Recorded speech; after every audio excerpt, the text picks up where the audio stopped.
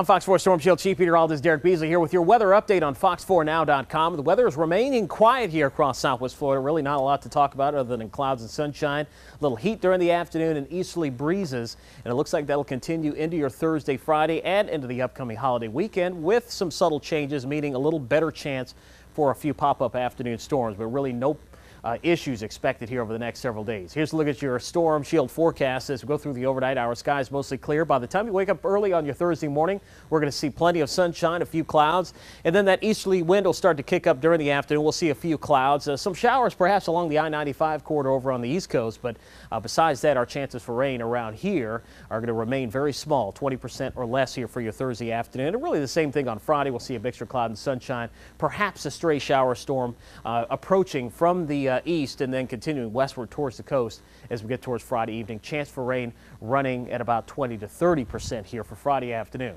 We're also keeping an eye on the tropics right now. We have a new Invest. This is Invest 91L that is now uh, forming uh, just to the east of the Bahamas. And this is an area of circulation that we're going to be watching very carefully for the potential for some tropical development. The Hurricane Center has increased the chances of this developing into something tropical up to 50% over the next five days. And the steering currents in the upper atmosphere are relatively weak, so this thing is not really going to be steered around much, but we do see a general northwestward drift towards the Carolinas over the next several days. If you have any holiday weekend plans up towards the Carolinas, perhaps the Georgia coast, lots of rain expected, but nothing more than that.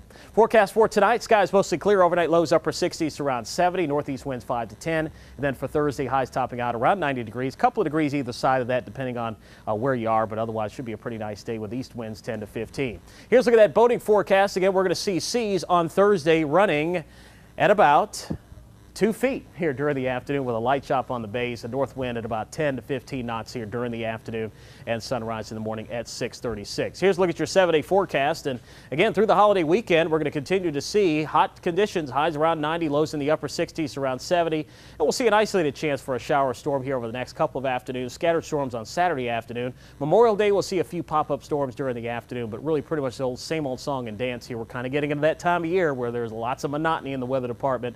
Highs around 90, lows around 70 with a few spotty afternoon storms. That's your forecast. I'm Fox 4 Storm Shield Chief Meteorologist Derek Beasley. Don't forget, you can always get your updated forecast right here on fox4now.com or Fox 4 News at 6, 10, and 11 and Fox 4 Rising at 5 a.m.